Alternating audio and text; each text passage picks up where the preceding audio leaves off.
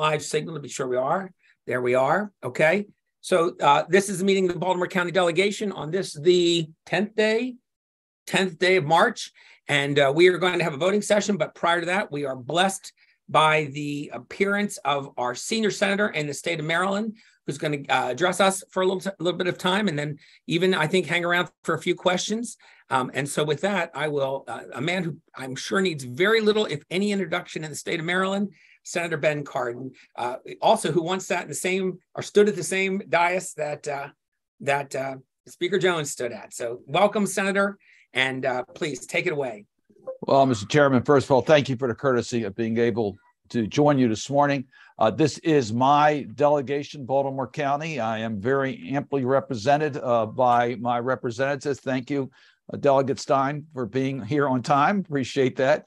Uh, and uh, my colleagues, uh, Delegate Cardin and, and Senator Hettleman. I'm very blessed. Um, Madam Speaker, you have the best job there is. Uh, everything after being Speaker of the House for me has been a little bit disappointing compared to being Speaker of the House, but it's a great honor to represent you all in the United States Senate. Uh, it is Team Maryland. I really want to make that clear. I work very, very closely with Senator Van Hollen. The two of us uh, share uh, information, total information. Uh, we have we work very closely with Congressman Mfume and Congressman uh, Ruppersberger for Baltimore County. Work with the county exec, work with the delegation. Uh, it is Team Maryland. Reverend Jerome Stevens is on the call. He's my eyes and ears in Baltimore County. Uh, very fortunate to have him. Uh, he really acts as a bridge to so many of our great institutions in Baltimore County. So thank you, Jerome, for your for your service to the people of Baltimore County and, and Maryland.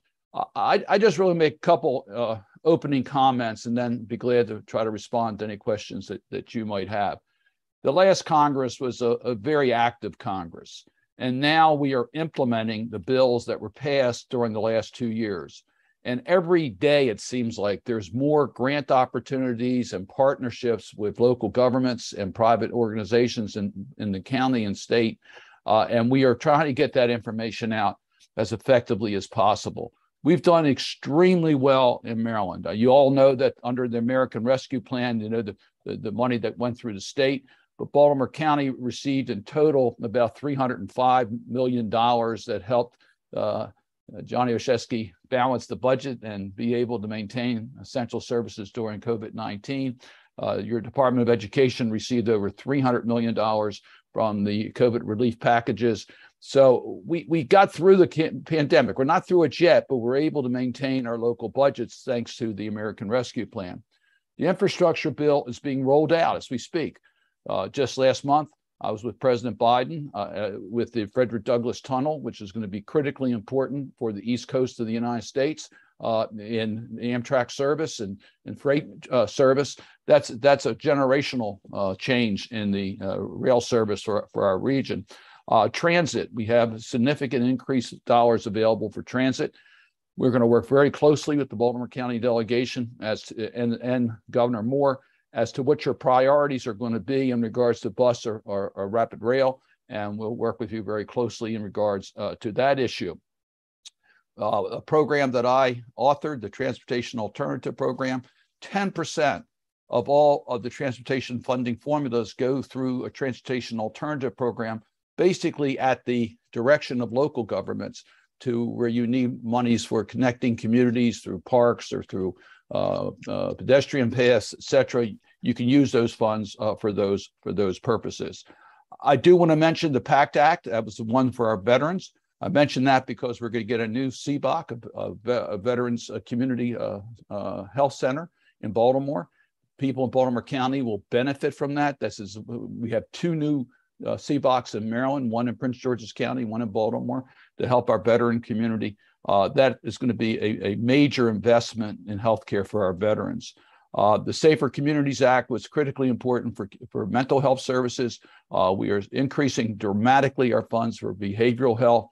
Uh, the opioid addiction issues, I've met with a lot of your uh, the officials as to how we can help deal with community support services for mental health. We have the 988 hotline to deal with suicide prevention. That's been funded. We have the chips and science bill as far as high tech, and Baltimore County has a lot of high tech companies that are benefiting from it. And then, of course, the Inflation Reduction Act uh, on where we reduce the cost of healthcare. Insulin now is capped at $35 a month.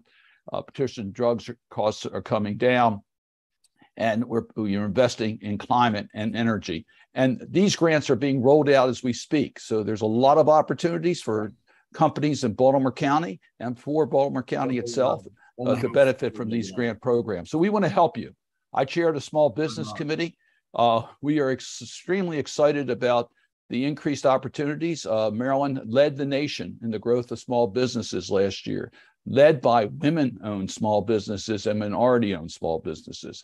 Uh, we have been able to uh, increase our women's business centers from one to four over the last two years. We've established a Veterans Business Outreach Center. So we, we really want to make sure that we energize our small business growth and opportunity in, in our community. Let me uh, conclude on the new thing that I'll probably get more questions about than anything else, and that is in the last two Congresses, we've been able to, last two uh, budget cycles, to do earmarks, congressional earmarks. Uh, I can go over the eight earmarks that were included in last year's uh, appropriation bills that were in Baltimore County. Uh, we welcome your suggestions on our website. We have a, a, guidance as to how you can apply for, for congressional earmarks. We work with your universities, we work with local governments, we work with um, the private nonprofit community. Uh, so we've done everything from the Liberty Community Centers to the to JCC to uh, the Community College of Baltimore County to Goucher to UMBC to Sparrows Point. I go through the different areas in which we've been able to provide some additional help. So uh, the bottom line is we really want to help you. Our priorities in this Congress, uh, we've already done this, is to deal with the violent crime in our community. Uh, that's probably our top priority. I, I, met with the U.S. Attorney, our delegation did, uh, in order to get more resources into the Baltimore region to deal with violent crime. Uh, I've met with the state's attorney of Baltimore City uh, uh in the, these efforts. Uh, I met with the White House. We are. This is our top priority: is to be a strong partner to bring down violent crime in our community. Uh, there's a lot of other issues that are going to be uh, going on during this Congress, and just welcome your thoughts. And remember, it is Team Maryland. We're all on the same team together, working with the state and county officials to do what's best for the people of Baltimore County. With that, Mr. Chairman, I'll turn it back to you for any friendly questions you might have on a Friday morning. Well, I wish you all just the best. We appreciate you and your brevity because oftentimes people have questions. I haven't seen a hand go up yet, but maybe out of deference, people are just waiting. Um, I'm going to stand by for a second, and uh, if uh, if nothing if nothing comes up, uh, we certainly did have a question about uh, something that's happening locally and wanted to know your outlook on it. And I'll start with that. Um, you may be aware that Baltimore City and Baltimore County are cooperating, and I know this isn't a federal issue, but I just you live in the area, so this is relevant. Uh, we're starting to talk about a joint um, sewer and water uh, a commission to talk about how we can have some shared responsibility for that. You know, you know that the city uh, grew in a strange way so that it had it, it, it, administers those, but it administers it to not only Baltimore County but several surrounding counties. I don't know if you're aware of it, and we're I'm doing I'm making you aware of it and want to know um, your if you have any outlook on that.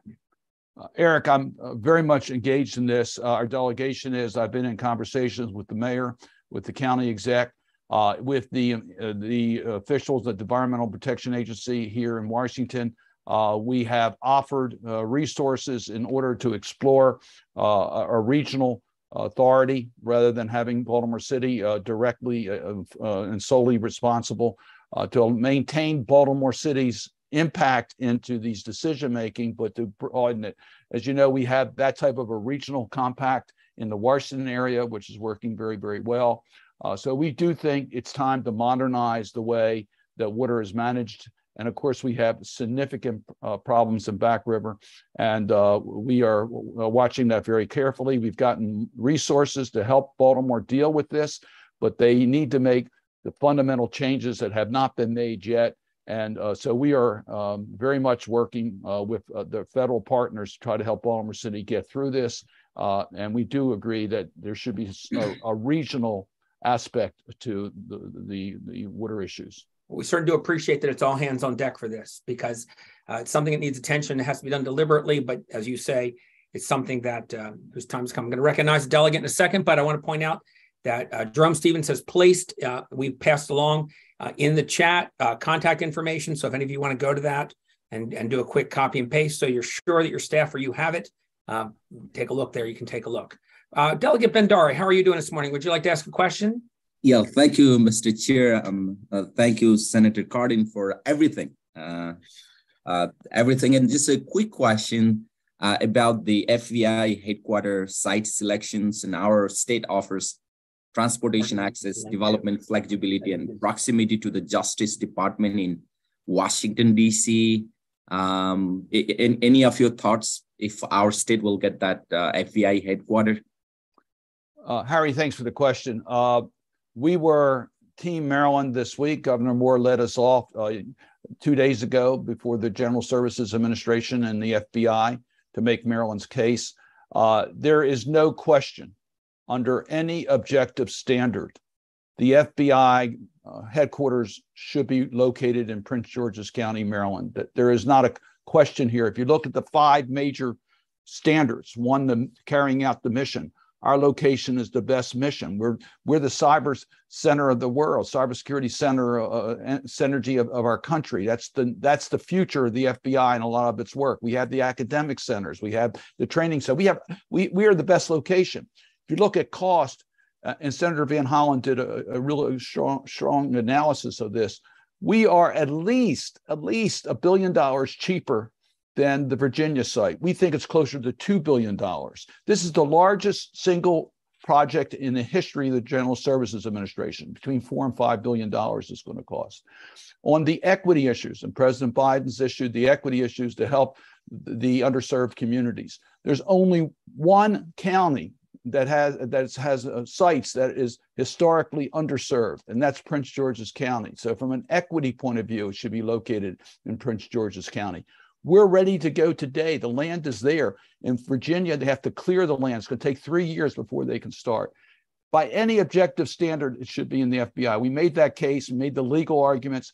In last September, the uh, General Services Administration came out with guidelines that were clearly biased and really affected the integrity of the process and totally against congressional intent and the president's executive orders. I made that point very clearly two days ago to GSA that changed the standards. They put a thumb on the scale, giving Virginia 35 points out of 100 before we even start the, co- the competition because of the mention of Quantico.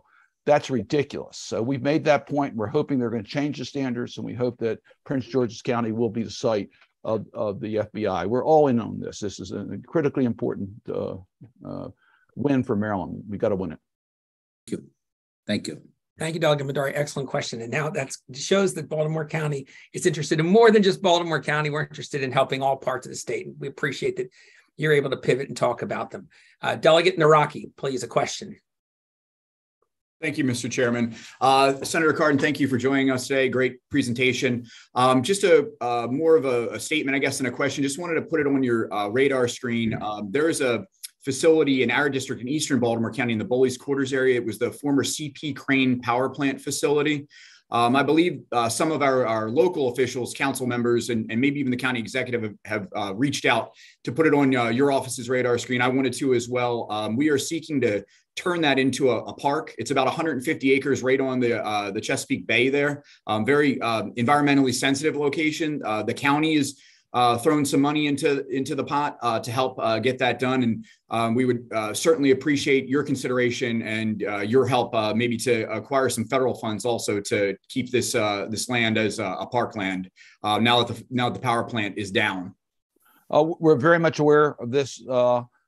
This project we want to do what the local community wants. We want to be your partner. We think we can help you in regards to a park. So yes, we think we can help. We know there's some conflict as to certain elements wanting different development there. That's a local decision. Sure. Uh, we uh, very much uh, want as much open space as possible in lands that affect the Chesapeake Bay. So, it, to us, a, a, park makes abundant sense. And uh, if that is uh, the direction you're moving, and it looks like you are, uh, we will try to be a partner. And we might be able to come up with some resources to help you make that a reality. Thank you, Senator. I appreciate it. Thank you, Senator. Uh, I see we have another hand up. The uh, venerable vice chair of ENT and mem- longstanding member of our delegation, uh, Delegate Stein. Thank you, Mr. Chairman. And Senator, thank you for being here and for your presentation and for all that you do for the state. Um, my question is about mass transit, and I wanted to ask if you could elaborate on the potential funding sources that the Infrastructure Act um, have for enhancing mass transit, especially potentially some revival of a east-west corridor, um, you know, for the for the Baltimore region. Right. Um, thank you, Dana. Baltimore has not been treated fairly by the state of Maryland in regards to transit. When you look at the investments that have been made in the Washington area, the investments that have been made in the Baltimore area, there's no parity between the two regions. We were on target for the red line. It was not only, uh, we had a full funding agreement with the federal government. We had $900 million in the pipeline to start the, uh, the project going forward when Governor Hogan pulled the plug on it. It was not just important from the point of view getting people from east to west. It was a statement about the viability of our region for transit related economic development.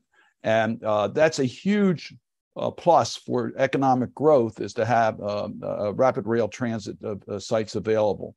So, in the infrastructure bill, uh, we were able to get a provision, and I chaired the subcommittee on uh, on transportation to put a provision in there to put the red line in front of, of the line if if if the decision is made to uh, to put that back into in, into reality. It's going to take years, though. Let me tell you, we've lost a decade as a result of Governor Hogan's decision in regards to the red line. In the meantime, we've been working with East West bus issues with the mayor and with local officials, and I think there will be resources put into East West uh, bus uh, transit issues, and we're supporting that. We've gotten some money out of the infrastructure bill already uh, to help the Baltimore transit issues. Uh, so we are looking at all viable options to deal with the trans transit, public transit issues in the Baltimore region. There's a lot of, we have multimodal uh, uh, uh centers, hubs. Uh, Penn Station is going to be a, a, hub. We have a lot of things going on that we think are positive in regards to transit in, in Baltimore. Uh, but make no mistake about it, uh, we're behind and we need to really increase our investment. So thank you for raising that. Uh, and uh, as I mentioned earlier, thank you for your representation, and thank you to Jon Cardin for his representation. I see he's on the line here also. He's here, and he's going to ask you a question in a second. But I do want to say that uh, you are correct, and I'm glad that, that we that it's said out loud that the decision to put the red line back set us back a decade or a generation, perhaps, in having to restart that project. Um, and I'm glad that we're not giving up, but we do. But we uh, it did put us back. I don't know square one, but one of the very early squares, and that was but let's keep at it. Baltimore does need that public transportation. Delia Cardin. Thank you very much, Mr. Chairman. Um, thank you, uh, uh, Senator, for always giving us plenty of time, and it's always a pleasure to be your delegate. So, um, so um, this is related to Delegate Stein's question, but um, and I came in a few minutes late, so I hope you didn't already cover this. But in terms of transportation, there's also industrial transportation. We've had some issues with rail uh, in the Midwest um, and problems with trains.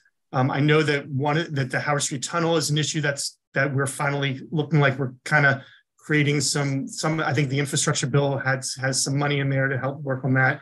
But in terms of um, uh, uh, human safety and what the federal government is going to be doing in our region as we uh, improve our transportation. But um, I, am I'm, I'm interested also in, you know, as Trade Point grows and we have more rail going to and through and, and around the county and the city, um, is the federal government going to continue to make sure that our people are safe? Well, Jon, thanks for that question. Uh, we had a hearing yesterday in the Environmental Public Works Committee, committee I serve on, uh, with uh, Norfolk Southern, and their CEO was present, and we had the environmental people present that affected us, by the way, just so you are aware. The Ohio River does not run through Maryland, but the watershed does run through our state. So our groundwater could very well be impacted by what happened uh, in the tragedy and accident in, in, Ohio. So we are making sure that there is adequate monitoring, including coming into the to our watershed areas uh, in regards to hazardous uh, materials. So it was a this was a totally preventable uh, situation the uh, the the safety rules were eased. Norfolk Southern did not make the adequate investments into their, uh, their into their trains that they should have made. Uh, they're going to be held fully responsible for all the damage that was caused to the community, individuals, and to the environment. Uh, we're going to make sure that happens. But we have to move forward recognizing that we do have a lot of rail traffic that goes through Maryland, and we're impacted, as I said, even through rail safety outside of our state. So yes, the Howard Street Tunnel is a major improvement for safety as, as well as commerce. It'll allow us to double stack on, on our on our freight uh, rail, which is extremely important for the competitiveness of the Baltimore Harbor. But it's also a safety issue. That tunnel, uh, there was a fire at one time in the tunnels, we all remember. So it's important for us to, to update that facility. It's over 100 years old. And the Frederick Douglass uh, tunnel for the passenger rail, separating out the freight rail from the passenger rail and giving us a, a, a more uh, uh, straight tunnel situation again for safety uh, and efficiency. So we, we are dealing with that. We are going to change the safety rules. Make no mistake about it. We had bipartisan legislation that was introduced by the senators from Ohio. I'm optimistic that we're going to see some of those bills move forward. Uh, we are just to underscore the irresponsible nature of Norfolk Southern. They had, I think, $10 billion in profits and they didn't invest it in their trains. Instead, they did it with uh, stock buybacks. That's ridiculous. That's, that just shows the irresponsible aspects of the ownership. You do need reasonable government regulations on safety. We're going to increase those uh, regulations um, and make sure that this type of a tragedy doesn't happen in the future. Uh, we have a lot of hazardous materials that work its way through Maryland. You need to know about it. You have to have total transparency. The communities need to know about it. Uh, we need to know uh, the risk factors and what are the plans in place in the event there is uh, an accident or spill. And uh, we're, we're going to up our game dramatically in this area as a result of the Norfolk Southern tragedy. Delegate Cardin, do you feel it, it got a good answer? No follow up there. Uh, well, you know, Senator, you everybody knows what you're up to. So we only have a handful of questions for you today, which is great because mm-hmm. um, it means that we're all following. I do notice that, and I and there's Scott Phillips. He always slides his hand at the end. I love this guy.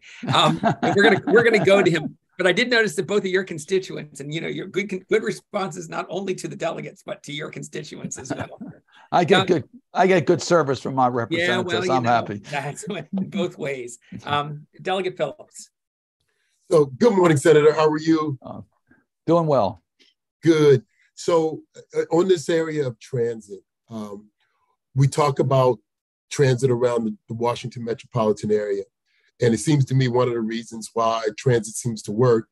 Uh, near, clearly, there was an investment, but uh, the Washington metropolitan area has their own authority. Um, there's been conversation about uh, an authority in Baltimore uh, metropolitan area.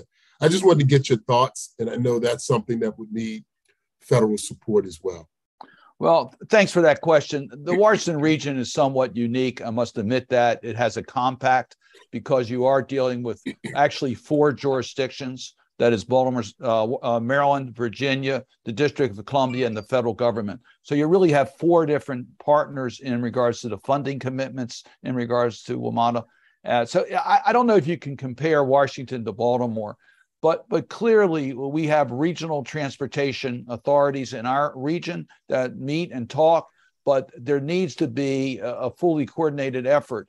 The state of Maryland takes the responsibility. So they're the entity that is uh, primarily responsible for the transit situations in the Baltimore region.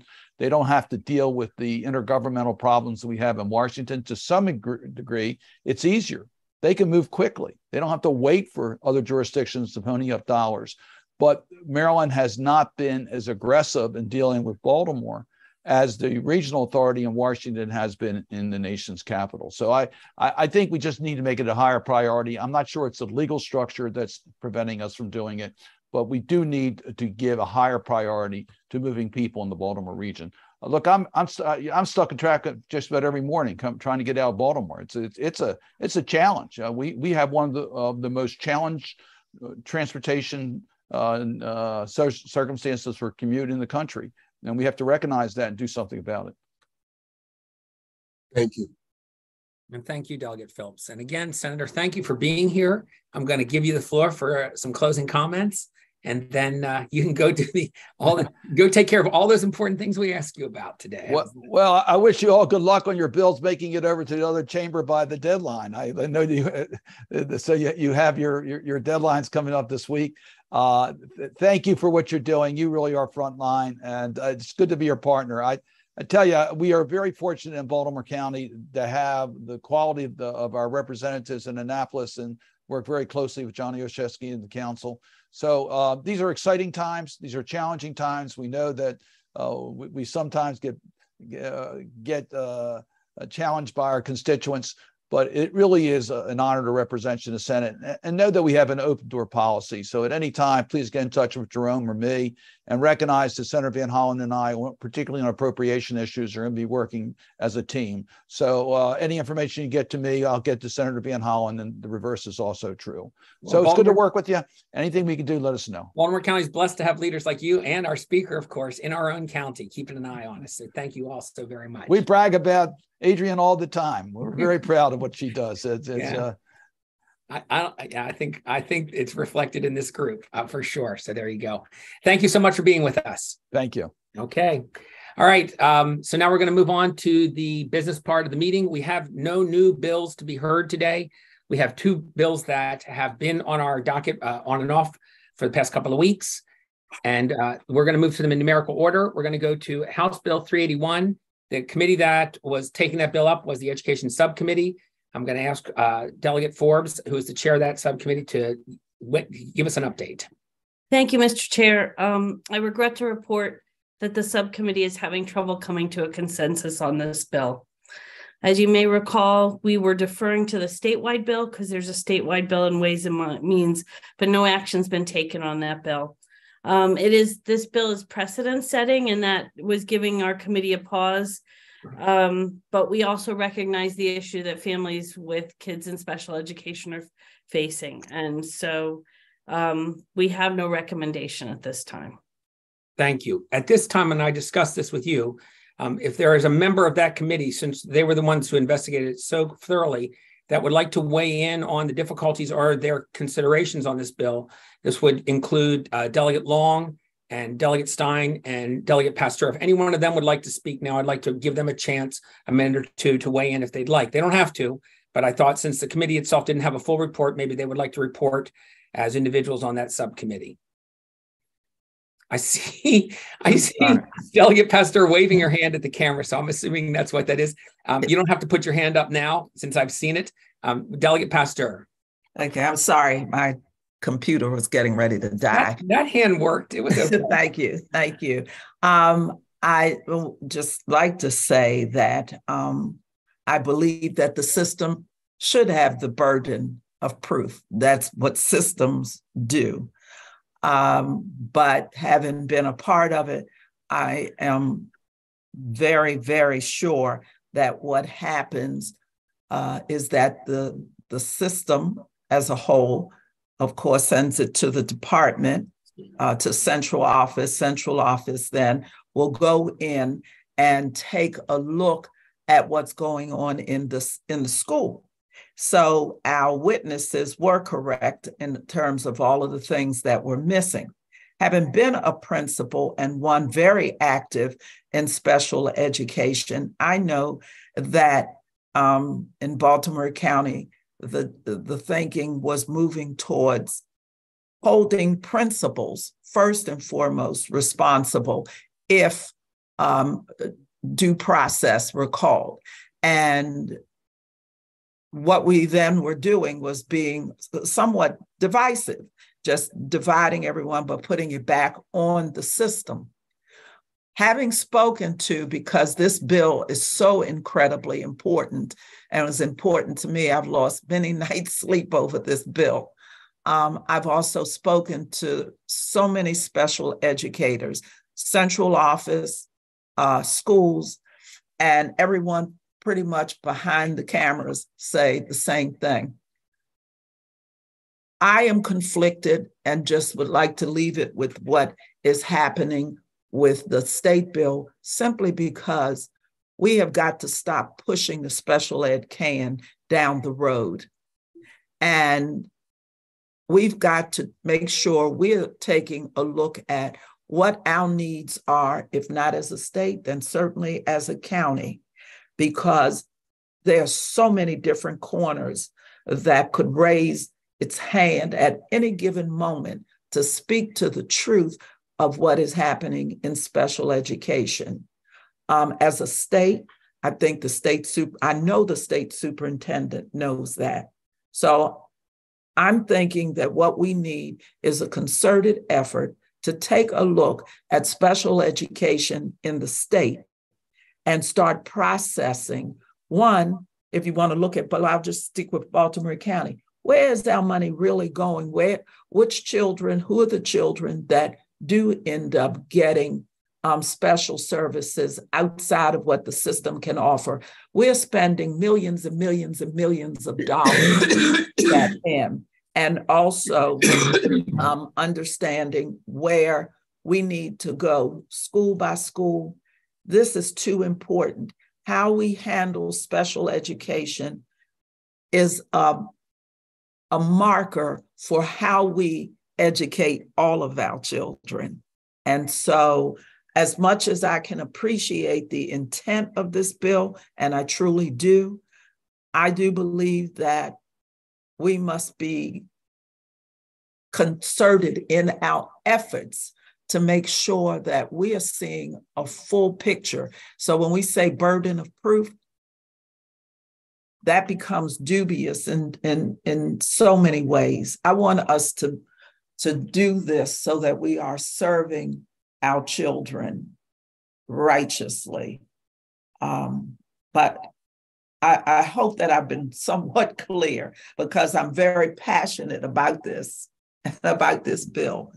But I, I don't think we're going to get what I, I think we would want out of it. It just goes back to kicking the can from central office to the schoolhouse. And, uh, and then it goes back to do we have the staffing? Are we putting the money in the right places? Um, and just to close up, I'll give you an example. There's one of our schools, and they have a self contained science class with a teacher who is not certified as a teacher and definitely not certified to teach special ed. So we have homework to do, and we need to not just put our thumb over the hole in the dike, but to really get nitty gritty. So I hope I've made some sense in this because you know my heart. Um, and there's no need in putting ownership on any one place, especially a place where you know at the end of the day, it's going to fall right back on the practitioner. And I'm hoping that with the state, and I have had conversations about the state one and looking at language, the words burden of proof also from, this is what I get from my special educator friends and um, partners that that in and of itself is scary. Maybe the, the, the terminology with that needs, that looks like finger pointing. And I know that didn't come from the county bill, that's how the state bill is named as well. And hopefully there'll be some work on that. That's a long way around to get to a short distance, but you asked, Mr. Chair, and I gave you. I always know what I'm signing up for, Delegate Pasteur. I always know what I'm signing up for. Um, I'm going. We have uh, a couple other members, and I'm just going to pause for a second. There's no requirement, but if you and either or any of those uh, committee members would like to make a comment at this time, seeing none. Now I see some hands up, but actually, what I think we need to do now is take up the bill. Then we can have discussion on it. And so this bill is. We have no committee report. So is my opinion that what we need to do now is uh, take a motion on this bill and deal with it as a delegation. And I think it would be appropriate to uh, recognize the sponsor of the bill for a motion. So Delegate Guyton. Thank you. I just wanted to say thank you very much to the subcommittee and to Delegate Pasteur in particular. We've had a lot of conversation about this bill, and I believe that she has actually lost more sleep over it than I have. So I appreciate that. And uh, her deliberative attitude uh, about this issue. So I am actually not going to vote unfavorable for this bill, but I'm also not going to argue that this group, Wait a that minute, Delegate Guyton, I was asking, no, Delegate Guyton, I'm sorry, I was asking if you had a motion. That's I all. do not. I Okay. do not. I just want to say thank you. Okay, got it. I'm sorry, I didn't understand that. I wanted to, if we were going to get to a motion. So I'm going to then open up the floor to the entire delegation. If anyone would like to make a motion on this bill. Okay, I think I've waited an appropriate amount of time. It feels to me like at this time, the delegation is not interested in moving on this bill. And so we will pass this bill and we will not give it on to the, the, uh, the the uh, Ways and Means Committee for consideration unless there is some objection to that. If somebody else wants to step in at this point, I'm giving this every opportunity here. All right, that concludes our business then on House Bill 381. We will now move to House Bill 1171. This is the speed monitoring systems in residential districts bill. I'm going to go first to the subcommittee chair um, for a report. Delegate Cardin. Thank, thank you, Mr. Chair. We had um, a few um, very um, intense uh, meetings on this bill. Um, and uh, we held the bill because um, the sponsor wanted to provide an amendment. We did uh, we did address the amendment in a another meeting yesterday, and we did not we could not come up with a recommendation on the bill on the amendment or the bill as amended. So it's in the same posture as the previous bill, where the committee would not could not um, make a a recommendation. Um, and so I can go into the, at this point, I think I'm just leave it to you and then I can go into some of the conversation about both the amendment and the bill if you'd like, but I'll So leave in it the to you. possibility that we get a motion on this bill, um, and, and with the understanding that there has been an amendment offered, which has been somewhat, at least partially, I believe, crafted by the sponsor. That's- Um, Yes, is that, is that correct? Okay. that is correct. The Okay, amendment was- so I think it would be, uh, if you could, as, as the, as the committee chair, but also we'll let the, the Sure. of the amendment weigh in if there, we need more information.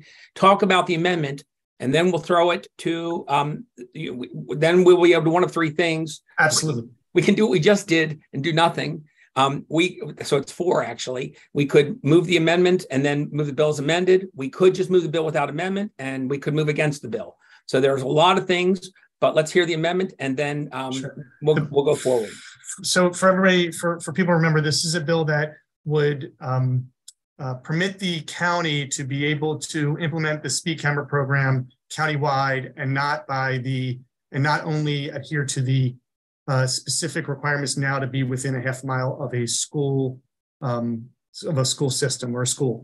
Um, the amendment uh, basically said, unfortunately, I didn't, I think I left the amendment sitting in my car.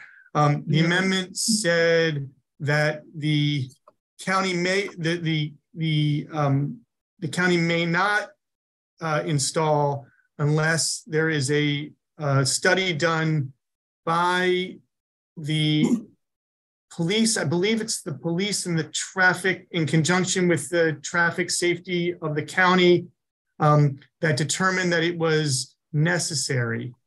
I had suggested that they also determine the, le- the, the length of, of the impact of a speed monitoring system as a, as an addition to the amendment. But that we didn't, we didn't, obviously didn't vote on that. So that it would be for impactful for a certain distance of, and I had recommended 800 yards.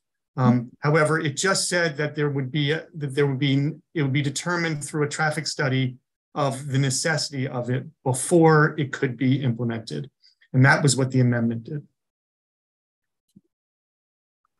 Okay, thank you. Um, Delegate Guyton, did you want to expand on that amendment at all? Um, Thank you, Mr. Chair. Yeah, I do have it in front of me, so I appreciate it and I appreciate the work of the subcommittee on this. Yeah, the amendment actually was brought to me by the members of District Eight and the member in District forty-four B, so thank you for that.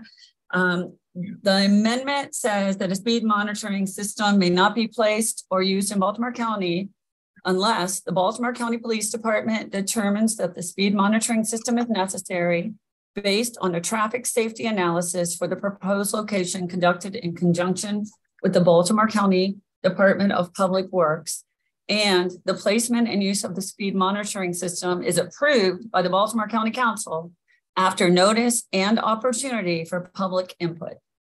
So that's that's the amendment. So I see a lot of comments coming, but we need to get some action here first. Right. Can I move the um Yes, ma'am. I was going to offer you the chance to move the amendment on the bill at this time. Second. we're Considering it. So I've got a motion on that amendment and a second on that amendment.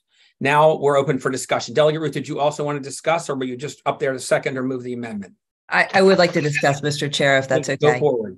That, thank you so much. And, and I had um, some concerns about this bill, um, but with the amendments, uh, my concerns have been addressed and I'm, I'm comfortable with it. Um, in particular, my request was the public input part of it. And so, so I, I want to thank the sponsor for being open to amendments. I want to thank the subcommittee for all your work on this.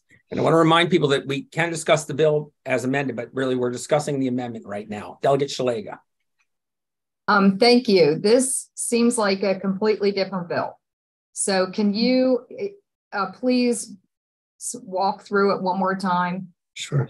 Okay, so who, who are you requesting them? um? I'm Whoever, start- I guess Delegate Guyton, since Well- it's her amendment. Yeah, we'll start with the committee chair if he has anything he wants to add uh, as far as that goes, and then we'll, if, we'll let the, uh, we'll let the sponsor, uh, put the icing on the cake, so to speak. Well, I mean, sh- I mean, and I think Delegate Guyton will correct me if, uh, if, if my understanding is, is incorrect, but, um, ba- what the bill does, it, it doesn't change the bill, the bill very much. All it does is say that you can't implement, it does, the bill will then allow you to implement the speed camera program anywhere in the state, but only after a study is done on a particular location that provides the a demonstration that it is necessary at the location mm-hmm. and the county council approves it. I think they have to, the based on the amendment, they have to approve it for each location that is being requested. It's not just a,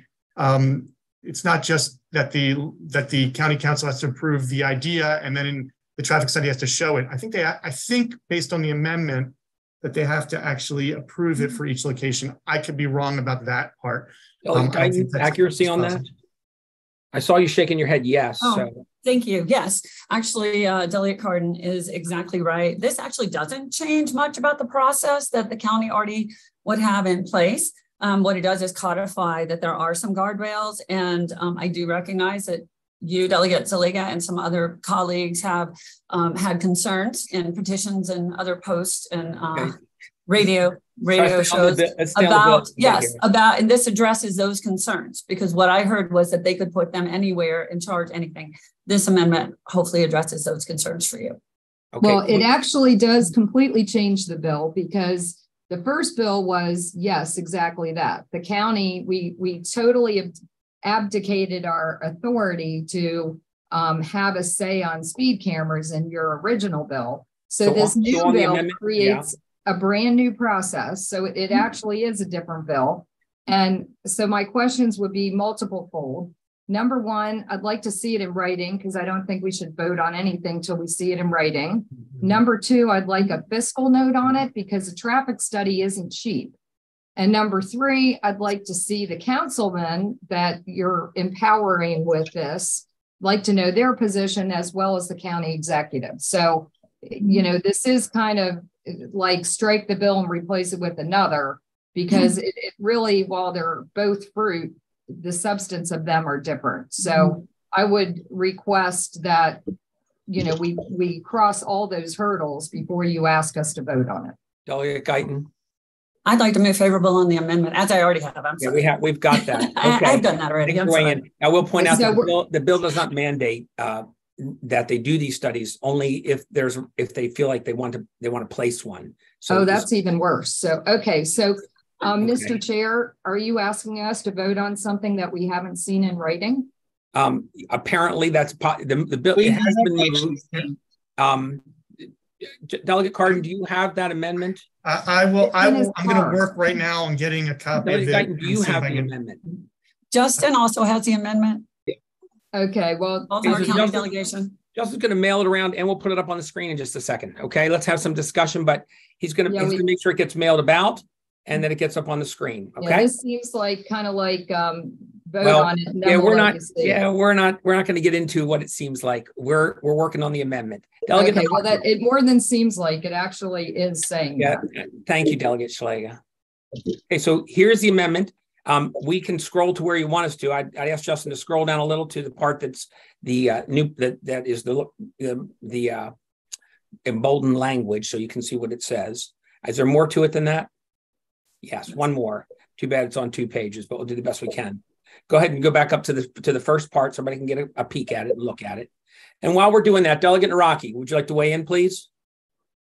Uh, yes, sir. Thank you, Mr. Chair. I appreciate it. Uh, first of all, I, I want to thank uh, our subcommittee chair, uh, Delegate Cardin. I, I think he's done a, a, great job trying to work through all this. We've had several meetings about this bill, and I, uh, Delegate Cardin, I really appreciate that. Um, I, I, would say that I did have an opportunity to speak to several uh, Baltimore County Council members last night um, about this potential amendment language, and the county councilmen still have uh, serious reservations. This is bipartisan council members I spoke to last night about this bill. I do think it's interesting that the county council, um, as far as I'm aware, and, and, please correct me if I'm wrong, or the county executive have not weighed in about this bill. That that's usually telling when they don't offer some sort of opinion one way or the other. Um, about a bill. And I, I, think we should all consider that strongly that, that they haven't said anything about it. And all the conversations that I've had with county council members um, have been we're not we're not seeking this out. So I I, I still have strong reservations even with this uh, amendment here, based upon my conversations with uh, members of our county council. Okay, thank you. Um, we're off screen because Justin can his computer can only either mail this amendment to everybody right now and then put it back up on the screen. So right now the amendment is coming to everyone's mailbox if you'd like to see it, and then we will display it again as soon as he's done with that task so that we can address it. Um, uh, subcommittee chair, uh, delegate yeah, card. Yeah, just uh, not a subcommittee chair, just as a as a as a okay delegate, a delegate. card, member of the Um, Baltimore County delegation. The, the the I I support this. By the way, I support this amendment.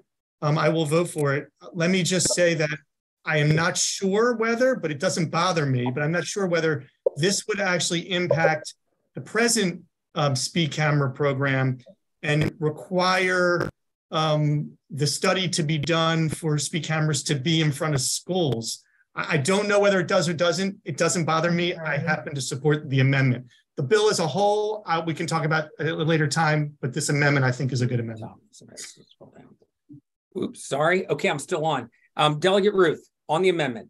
Th- thank you, Mr. Chair. Um, on the amendment, I, I just wanted to point out that Baltimore County does already have a process for traffic studies, which they do um, before they can implement any speed bumps or any kind of um, you know traffic calming measures. And uh, they actually did one on, on my street, um, but did not reveal enough need for for those type of measures. Um, but so it's not like we're asking them to develop a whole new process. They actually have a process, and it seems like it could be very easy to add speed cameras as one potential measure into that process.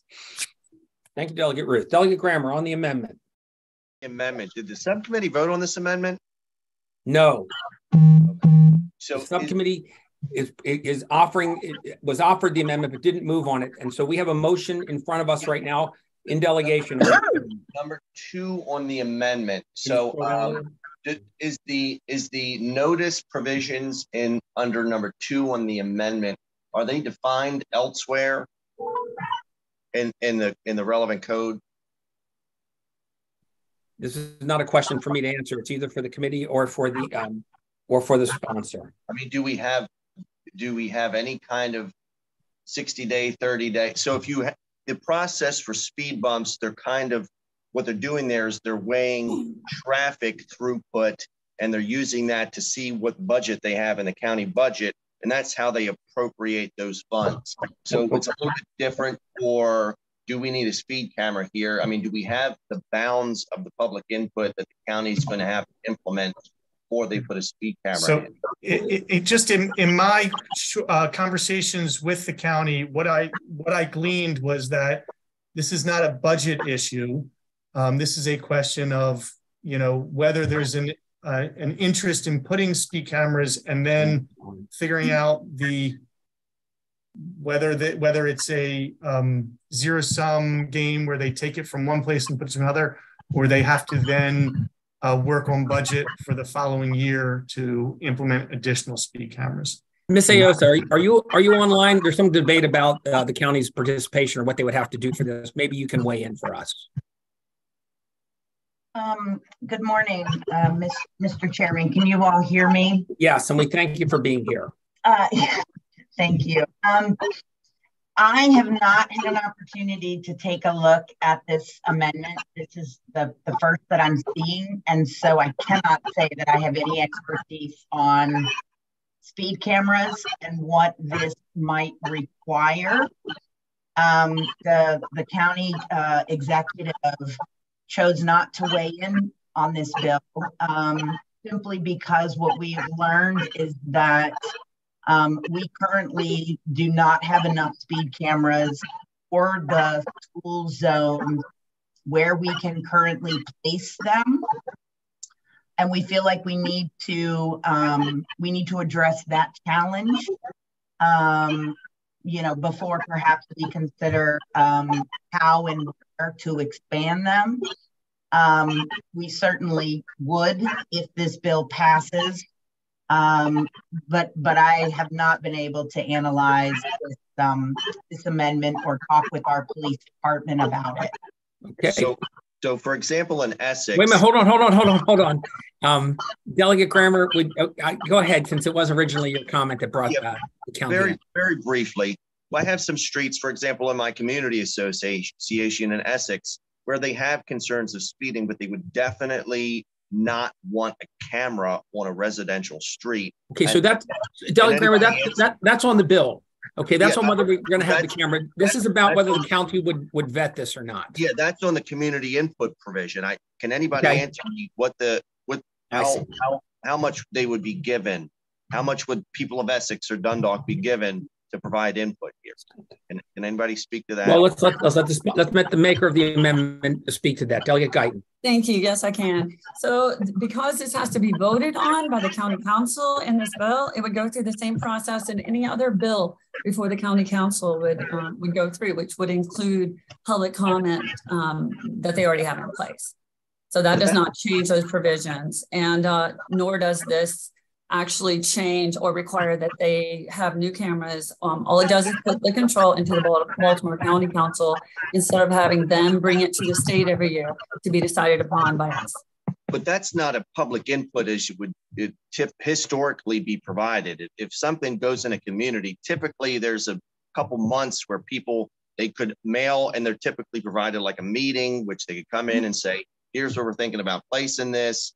And there's a little bit of a forum if it's just a typical county council voting session, I, I don't even know if this even exists. Any any additional form of input exists, but I'm I'm going to yield my time. Thank okay, you. thank you, thank you for your comments, uh, Delegate McCaskill. I'm sorry, I have no idea where we are right now. Um, good morning, everyone. Let me take a step back for a minute. We're on the amendment. We are we are considering. There's a motion and a second on adding this amendment to the bill that we are considering voting on. Okay, and and so we're in discussion, or are we just going to, since we already seconded, we? Ultimately, we will take a vote on this amendment. Yes. Okay, after discussion. Yes, ma'am. Okay, I, I, just had to catch up for a second. No worries. I, just, I, I, am one of the people who was on um, the co-committee that our chairman decided to uh, and create for this. Um, and so on the amendment for the second, uh, on the second sheet or under the second um, comment, the placement and use of the speed monitoring system is approved by the Baltimore County Council after notice and an opportunity for public input are provided. My concern goes back to disparity. Um, so, in talking to of course, our Senator Charles Sydnor, um, in reference to his bill and the contradiction that this comes, that this brings, um, caused me to um, vote a no on it.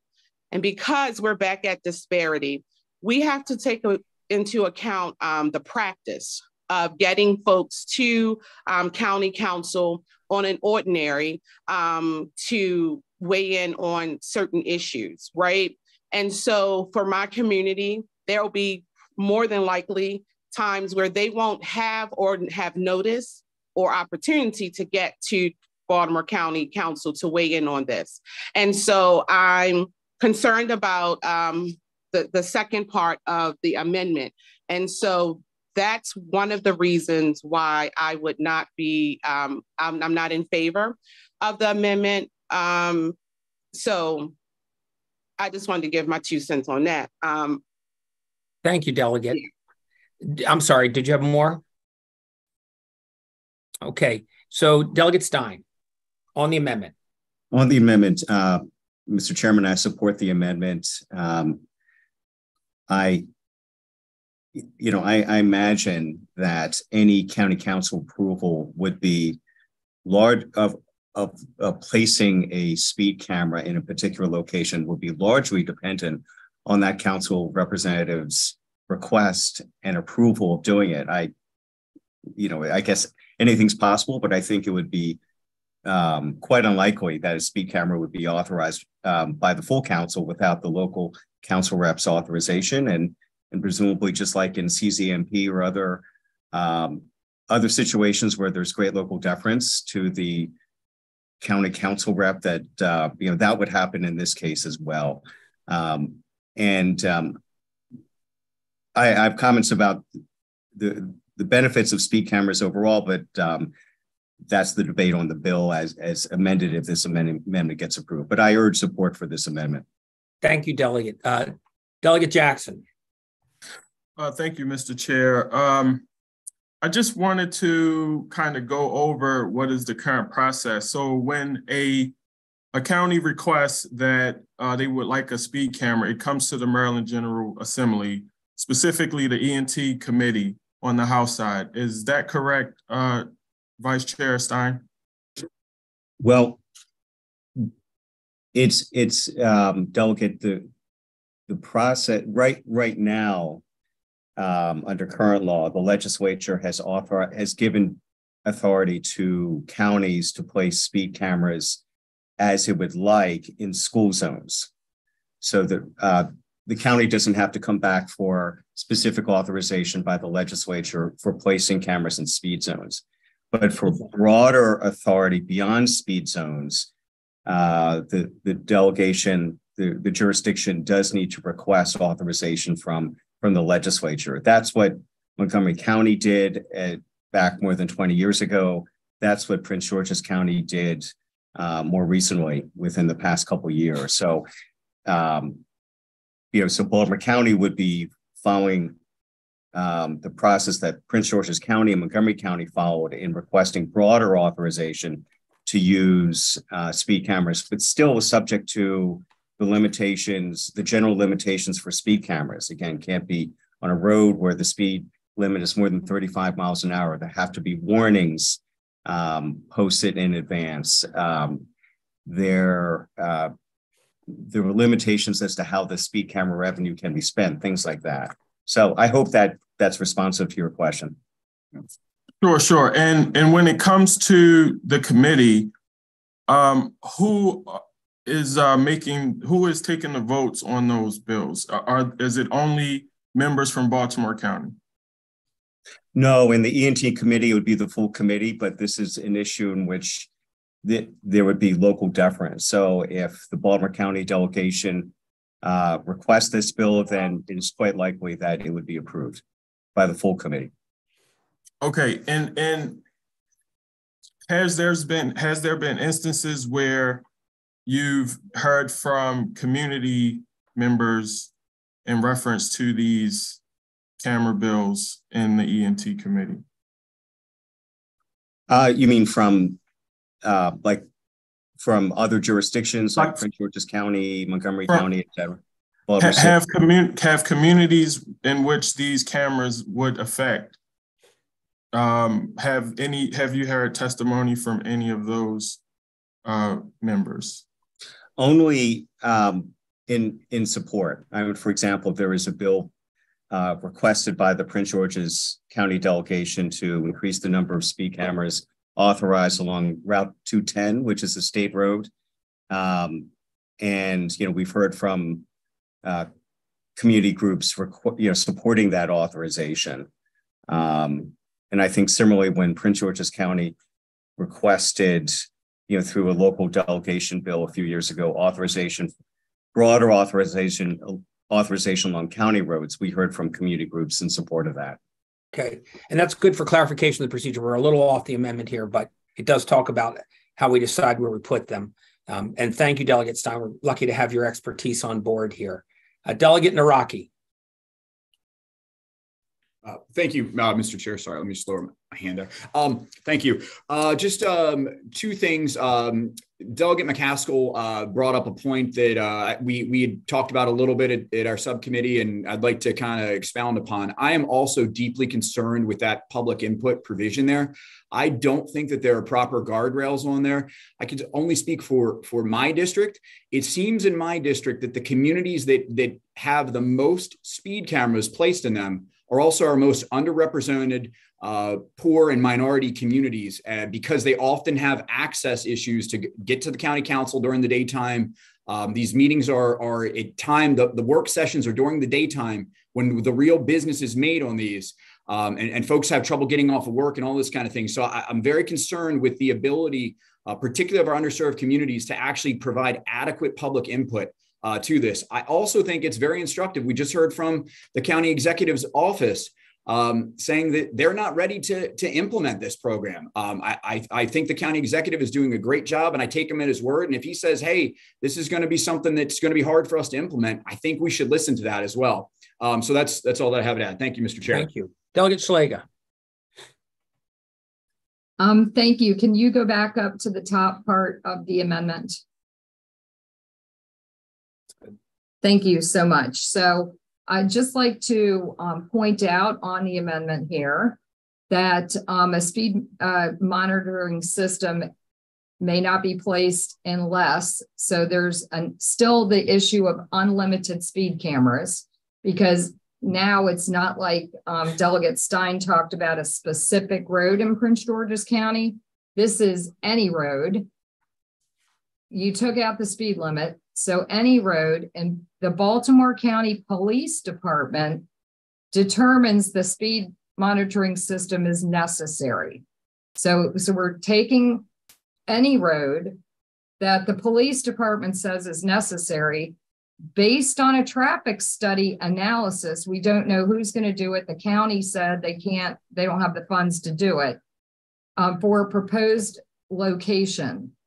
Um, so, you know, again, I would say this is completely changing the bill. Before it was any road under 35 miles an hour. Now we're saying any road in the entire county that the police department determine that they need a speed monitoring system.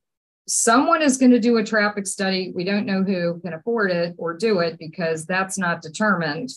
And then um, if you go to the second page, again, we're we're talking about a public input meeting without any real guidelines. Um, there is also in this bill no limitations on how the money will be spent. So in other cases, when you know these are $40 tickets that you know will just could go anywhere in the entire county. I mean, the county, I think, collected six million last year in speed camera tickets.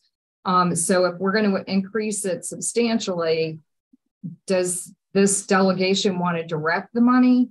Um, I, I, would just say, you know, this is a, a, completely different bill than what was originally brought in. And, um, you know, if we're going to trust the subcommittee process, the subcommittee didn't really even look at it as well. So um, for those reasons, and many others, I'm going to be against this amendment. Thank you for weighing in. Um, we are having the counsel look at uh, something that was said that this would remove the 35 mile hour limit. I don't believe this amendment does, but we are asking uh, the Baltimore County Council, the our our our our local DLS counsel, if that's true or not. And uh, she doesn't have a microphone working, so we're waiting for a response for her on that. Uh, Delegate Phillips. Delegate, and before Delegate Phillips go in, because he was on it as well, I just want to make sure. Wait, wait, uh, Delegate McCaskill, uh, I'm sorry. Um, are, what are you, are you responding to something someone said? Um, we're yeah, kind of just going... really quickly that um, Delegate Szeliga mentioned that we didn't. Yeah, Del- Delegate McCaskill, to- in, in, in fairness to the other delegates, um, you can respond to that, but we're going to go in, in order that people have uh, asked to speak, and I'm going to go to Delegate Phillips next. Sorry. I apologize. That's all right. Not at all. Good morning, everyone, again.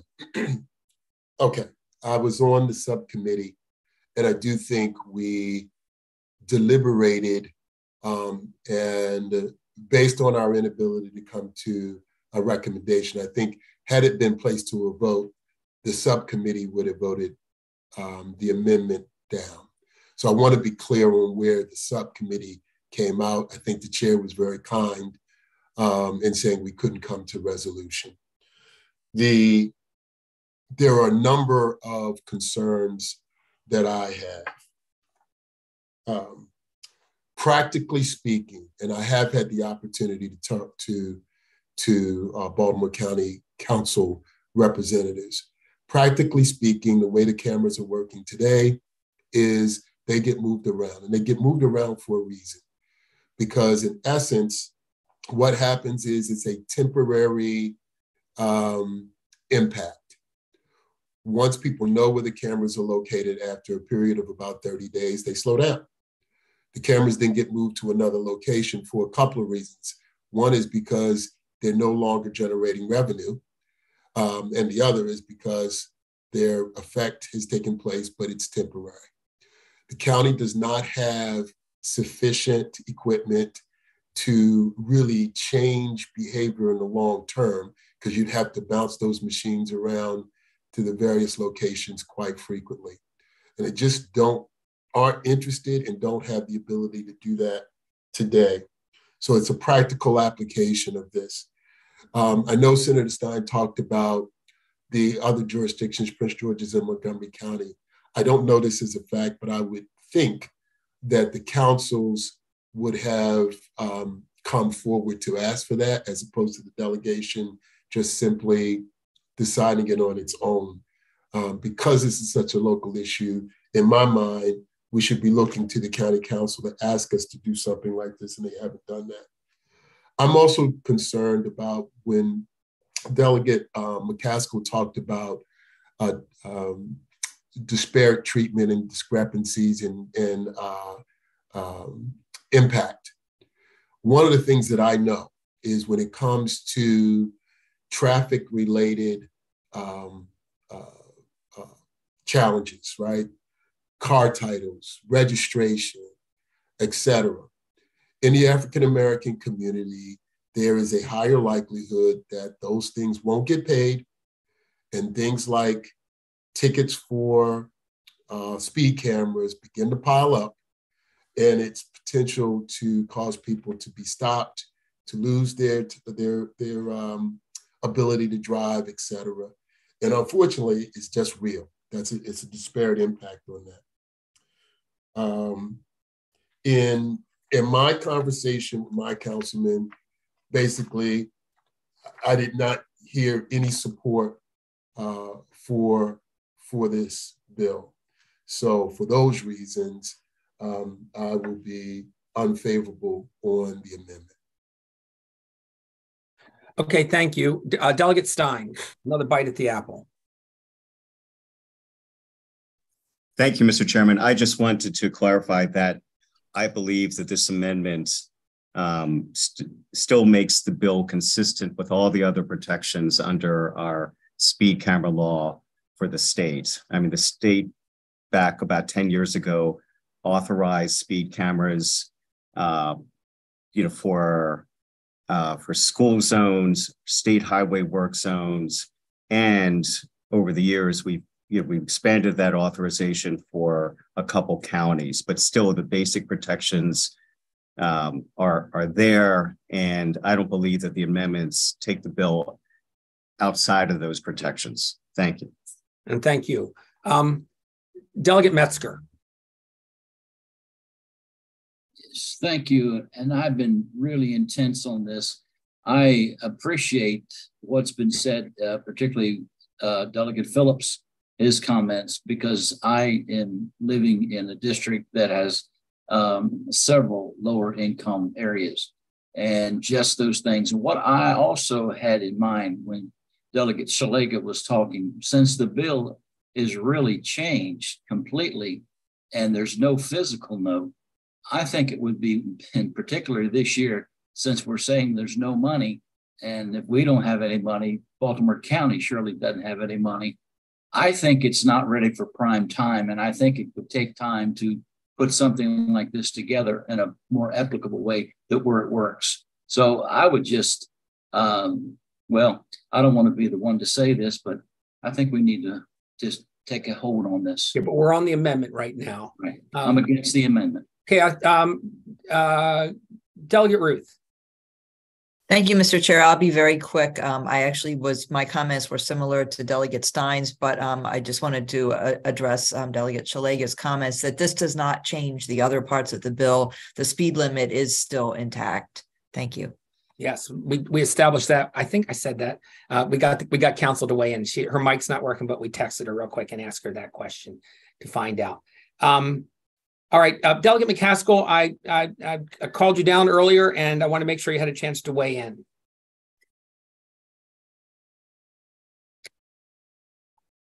I can play the Jeopardy. there, there she is. I apologize. My phone is on charger. My cord is short, and I can't. Um, but everyone has said exactly what I was going to say. Thank okay. you, delegation. okay, we're on a little short cord right now. Um, uh, Delegate Pasteur. Okay, having just, thank you, just having seen um, the amendment, uh, I think the amendment is fair. However, um, I think I'm like, whatever I've heard, because if the county council doesn't want to vote for it, then they won't. Then there won't be a camera. Mm-hmm. And if the people in the community don't want it, then there won't be a camera. So it has the amendment has all of the accoutrements, I think, that are about inclusiveness. However, I'm also leaning towards not understanding, but we're only looking at the amendment. So right now, right now we're considering the amendment. Right, just the amendment. Whether it fits into the total bill Right. As a whole, we another could, story. We could I might, the amendment go, go through the bill. Okay, I'm mm, okay. Sorry, but it's on the amendment right now. Thank you. Correct. All right, uh, Delegate Jackson. Uh, move the previous question. Okay, so the previous question has been moved, which means that would move us to a vote. Um, we might have to vote on the previous question. I hope not. I hope a lot of opinions have been expressed. I think everybody has a feeling for where they stand on this one. Uh, without objection, uh, I, the previous question has been moved. Uh, with, uh, I'm going to take it as a motion unless I hear an objection uh, for us to, to do a roll call on that. I see none. So the previous question has been moved, which means we move to a vote on the amendment. Now, I want to point out that in voting on amendments, we need only a majority of the members who are voting or are present when we get to the bill, we will need a constitutional majority on either a favorable or unfavorable, which in the case of us having 20 people means having 11 votes for whatever motion is placed. But at this point, we're voting on the amendment and we need a simple majority of the members present. And so here we go. We're going to start off. The motion is on the amendment and we're moving favorable on adding the amendment to the bill. Vice Chair Jackson. Aye. Uh, Delegate Allen. Yes. Delegate Bhandari think Delegate Bhandari is excused. Delegate Cardin. Yes on the amendment. Delegate Forbes. Sorry, Mr. Chair, yes on the amendment. Delegate Grammer. No. No on the amendment. Delegate Guyton. Yes. Delegate uh, Speaker Jones. Yeah. Yes on the amendment. Delegate Long.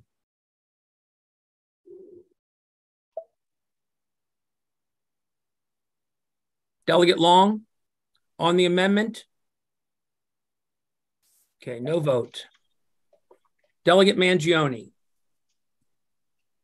No. Delegate McCaskill? No. Delegate Metzger? No. Delegate Nawrocki? No. Delegate Pasteur? Yes. Delegate Phillips?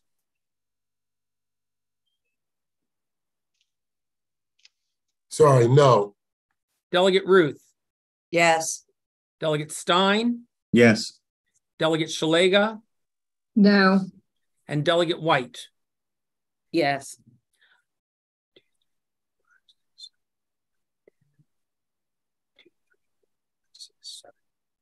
I have a count. I'm going to go to the uh, secretary. Madam Secretary, what do you have as the count on the vote for the for the amendment?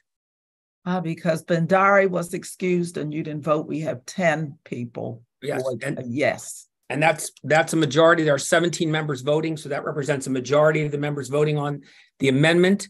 And so the amendment is now being is being attached to the bill. So now we have a bill with an amendment.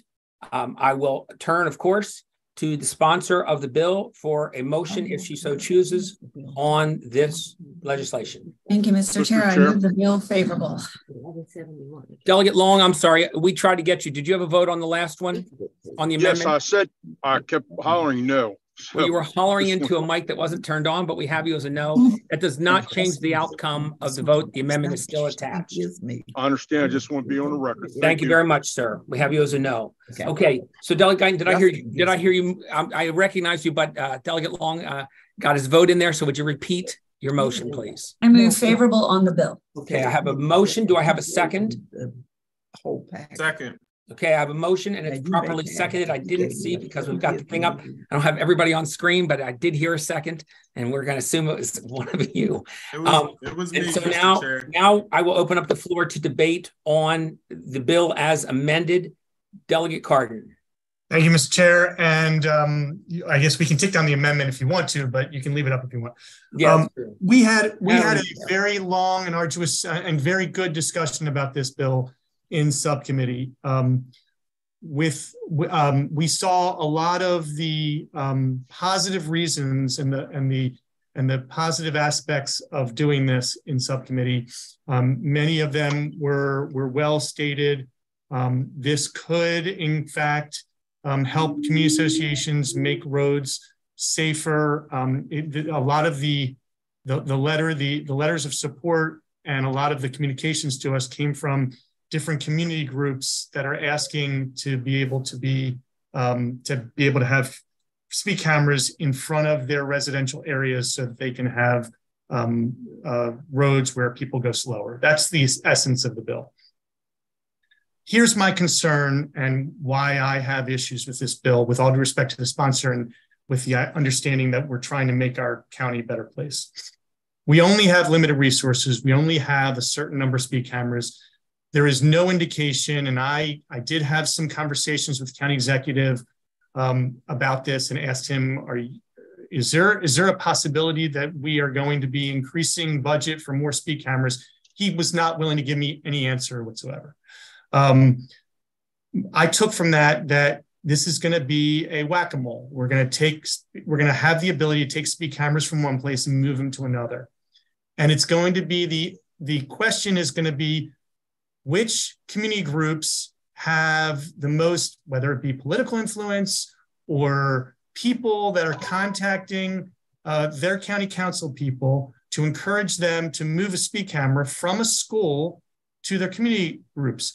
Might that be a good thing? It might be. It might be a good thing. It might be a bad thing. I don't, I'm not judging that. I'm just saying this is what I think is going to wind up happening. And my concern is that we also we have legislation in, which I'm assuming somebody's going to mention, to try and confine speed cameras to closer to school zones because one of the things that came out in the hearing that everybody remembers is that it shows that the speed camera is effective essentially for 400 feet in front of the speed camera and 400 feet behind the speed camera. And when, when that picture was shown about where the slowing down happens or where the violations happen, they all happen right in front of speed cameras because people know to slow down right in front of the speed camera.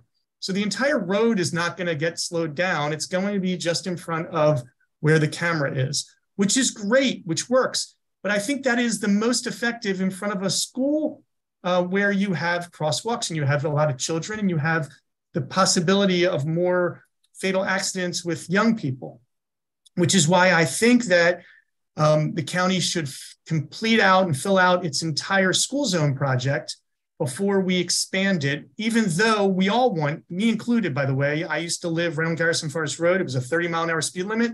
I wanted a speed camera right in front of my house because people were going 80 miles an hour down that straightaway. Those of you who know where I live, um, and I wanted it there. But would I say we should move it from in front of the JCC or Garrison Forest School to put it in front of my house so that my kids can be safe? I don't know. That's a that's a judgment call that we can all make right now.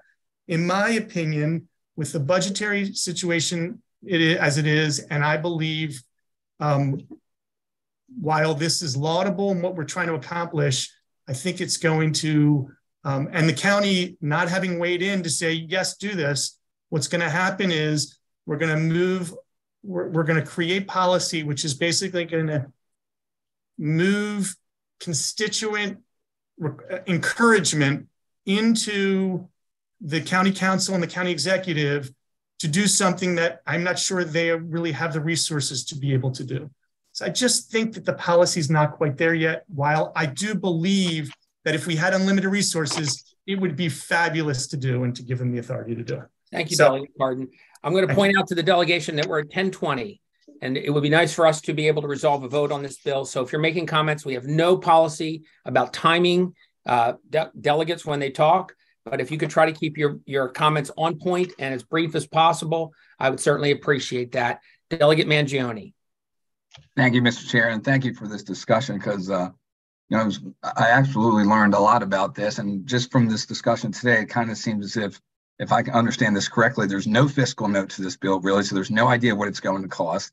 Um, there's no support really from the county executive or the county council. I don't want to be repetitive, but these are the two main factors that this delegation almost always considers. Uh, another big one I learned that is affects the minority communities the most. The subcommittee, as I understand, did not even vote on that previous amendment, nor did, if I'm not mistaken, this did the subcommittee vote on the bill itself? And what was that vote? No. And there's no subcommittee. The, the report is the subcommittee took it up, but did not get to a vote on it, or if they did, they were they were tied. I can't remember which, but they were unable to arrive at a decision on on this bill or the amendment. Okay. Yeah. So well, that's, why, that's why it has fallen to us to have the discussion here. Yeah, I mean, those are all things that usually go into consideration when we vote yes or no on a bill, and overwhelming uh, negatives there. Which, if we consider that for any other bill, I would assume that we would probably vote no if that was the uh, true for that. So that's why I'm going to um, vote no on the bill. Thank you. Thank you very much. Okay, Delegate Grammer. Thank you, Mr. Chair. I'm going to try and limit this to one minute. So I've learned from transportation policy that the purpose of a speed limit is not actually to limit speed. It's to limit the variance between slowest and fastest drivers. The purpose of speed cameras is a revenue generator. If you want to control the speed of traffic, you do things with the structure of the road. You narrow the road, you put in an island, a roundabout, or where you can't do that, you put in a speed bump. And that's why communities always go after speed bumps.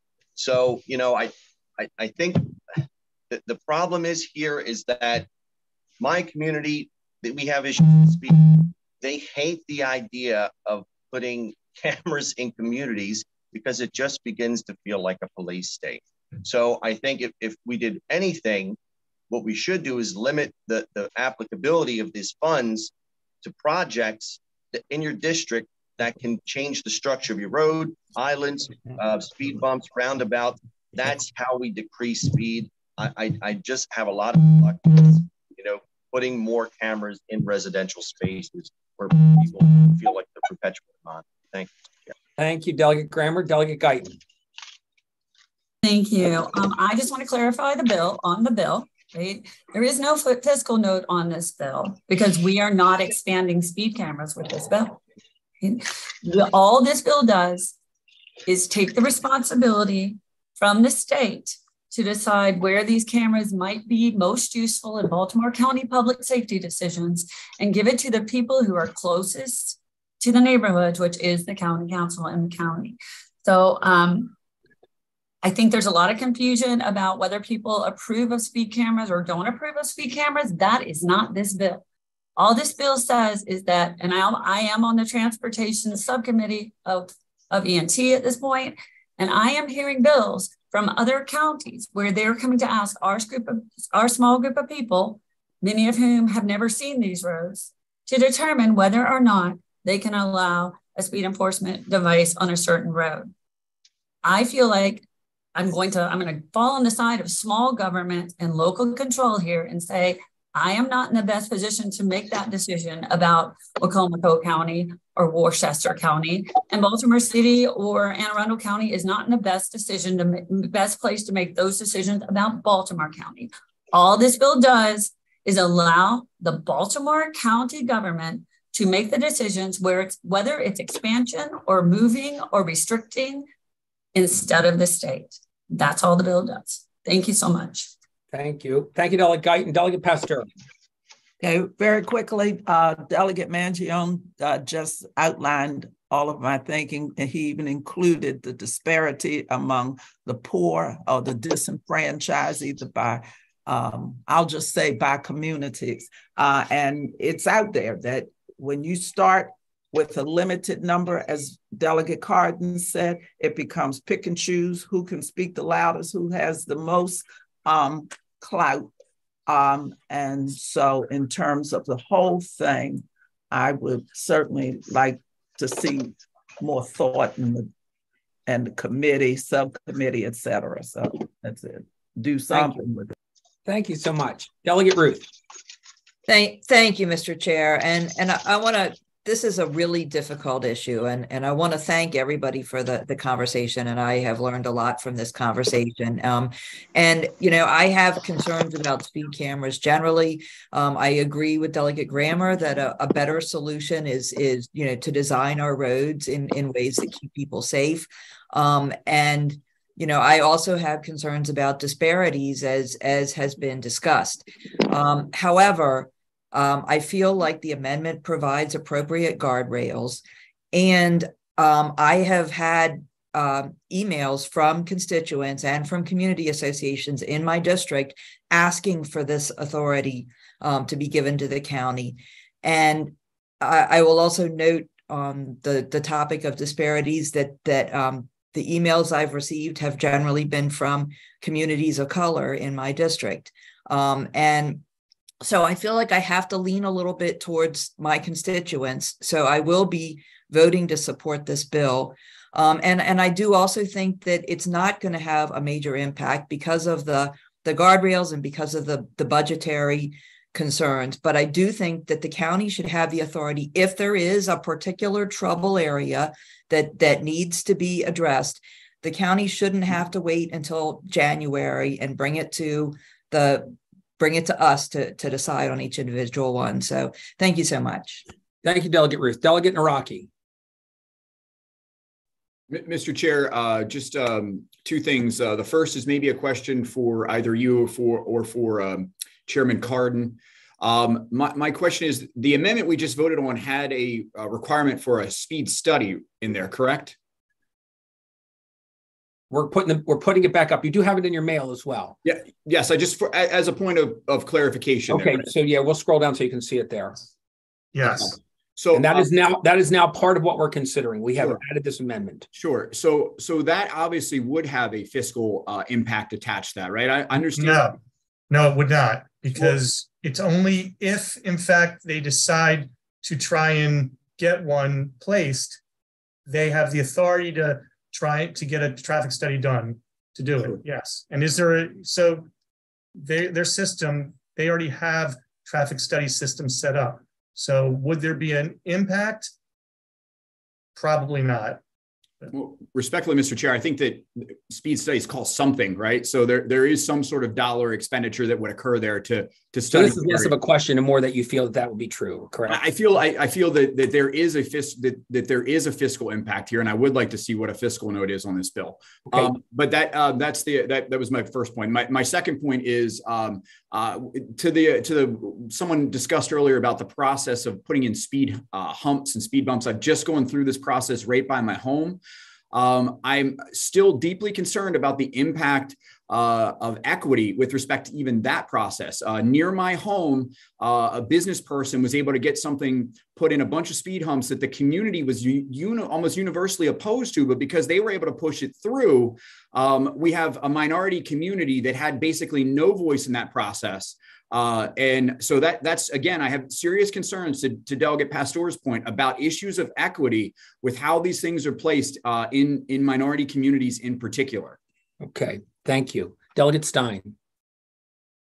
Thank you, Mr. Chairman. Um, you know, when this issue of broadening the county's authority to deploy speed cameras came up a few months ago, I was really on the fence because I'm not loud about the idea of, of adding automated cameras um, more than we already have. However, for the past few months, I've gotten at least half a dozen uh, requests from different communities from, from my, throughout my district saying that speeding, especially during the COVID era, has gotten worse. We see it on our highways, we see it on our county roads. And so, you know, that feedback from, from constituents, from communities convinced me th- that this is something that we, that we should authorize. And I do know that Montgomery County, which has had speed cameras uh, with the type of authority that Baltimore County is seeking for about 20 years, they were very happy with it. They believe it has had a direct impact in slowing drivers down and saving lives. I know that you know Baltimore City just added some cameras on the JFX, and they already are saying, documenting that it is slowing drivers down and presumably saving lives, reducing accidents. Um, so you know, I think this is again that we're authorizing Baltimore County. We're not requiring it. I believe the police department already does studies in connection with placement of cameras in school zones. So the cost should be of doing a study in connection with this bill should be negligible. And as much as I think, yes, permanent improvements like speed humps, changing the contours a road are the best solution, they are very expensive. And it, it would take decades for the county just to be able to fund the requests that are probably already in the queue for those types of improvements. So uh, I don't think that's a practical alternative. So I support the bill. Thank you. Okay, um, Vice Chair Jackson.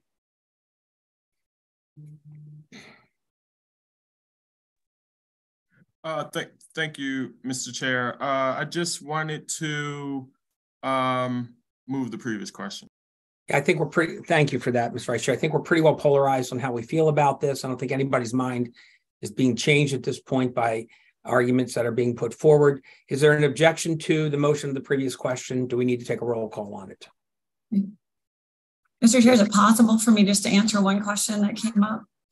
Uh, we're in the mo- middle of a motion on the previous question, but I'll allow it as a comment on the previous question. Okay, one comment on the previous question. Um, when we're, we've had a lot of concerns about disparity, which I share as well. I'm sorry, someone has a camera, has a, uh, we have a, a lot of questions, rightly so, about disparities, and I've heard a lot about that today.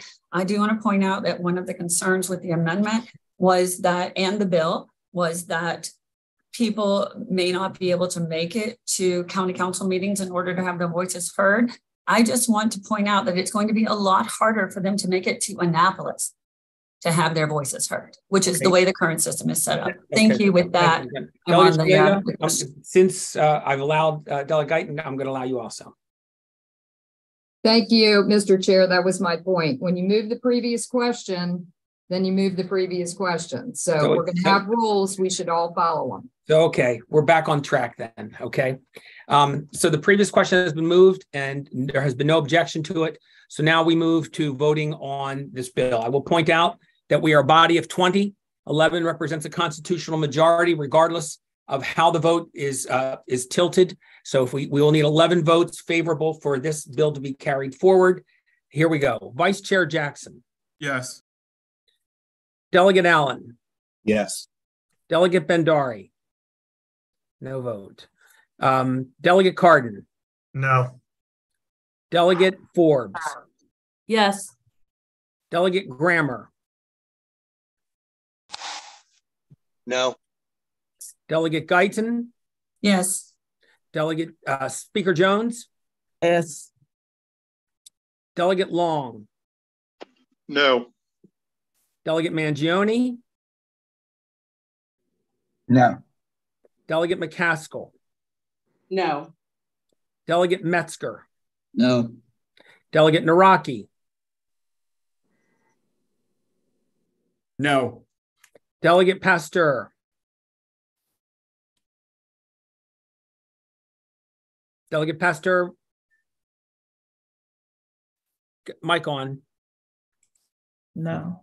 No. Yes. Is that okay? Are you a yes or no? I'm sorry. Yes. She's a yes. Delegate Phillips, No.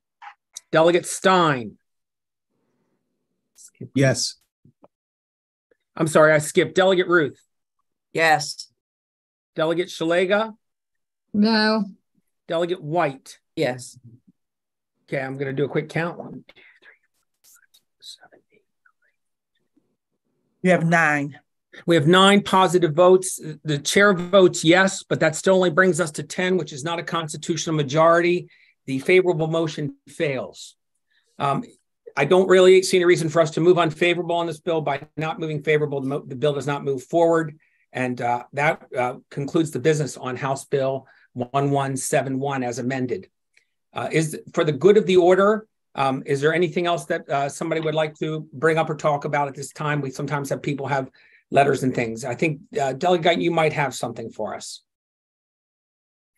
Yes, thank you all for that uh, deliberation. I do. I have in your inboxes, I have a letter to Baltimore County Public School Board of Education and also Dr. Williams um, asking them, and please read the letter and decide if you want to sign on, asking them to involve elementary school student families and decisions about boundary studies for um, for middle and high schools because they will be the ones most affected by those decisions. I know we had a lot of conversation about that last week when we had Dr. Williams here. So I have drafted this lovely letter and I would love to have those of you who are interested in supporting it, let me know, let's say by next Friday.